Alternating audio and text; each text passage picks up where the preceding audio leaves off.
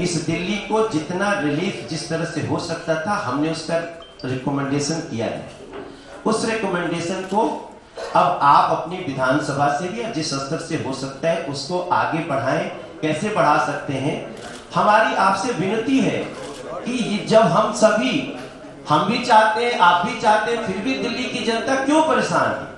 इसके लिए हम आपसे अगर एमसीडी को अभी भी कुछ करना है आप मुझे बता दो हम सब करके देने को तैयार है। ये जवाब दे रहे जी जवाब दे रहे हैं यार शोर मत करो प्लीज़ कोई शोर नहीं करेगा। हमें चर्चा करनी है हमें शोर नहीं करना। मैं आपका जवाब तो दे दूँ?